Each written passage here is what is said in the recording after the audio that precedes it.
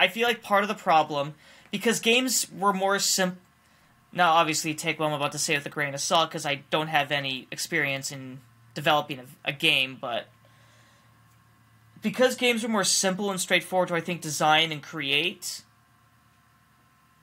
it was like easier to produce more and more, like like per year. But as games get more and more complicated and more, I mean, it's it's getting to the point now where games, you know, that are that are being shipped out like after just a year and a half to two years of development.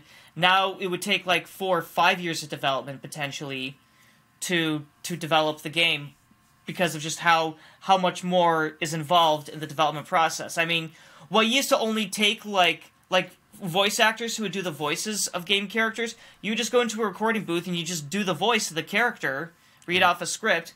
But now it's you're not just doing the voice, now you're doing the motion capture and mimicking the actions of the character in like a f- in that full body like studio thing. They, they they wear the suits with like the little bulbs. Yeah. You know, they I I've seen I've seen these actors having to like, you know, do a weird T pose for technical reasons. I I don't know why they have to T pose at the end of certain scenes. It's just something I, I saw it with uh I saw it with one of the more modern games that are being developed.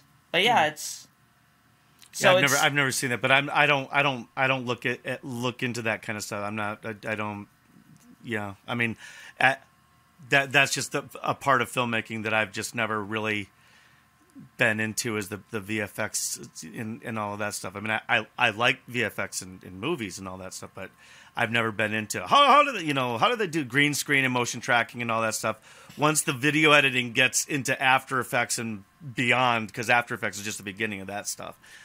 It it and like is I you know I don't mind I don't mind making making um, you know emojis jump across the screen and, and squish and all that stuff and I can do that and it's fun but I, I just yeah when it comes to tracking and I hate green screen.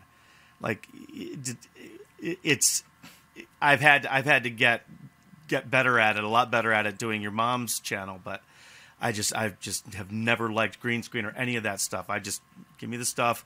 Hard cuts and crossfades and keep it simple. I, I love that kind of thing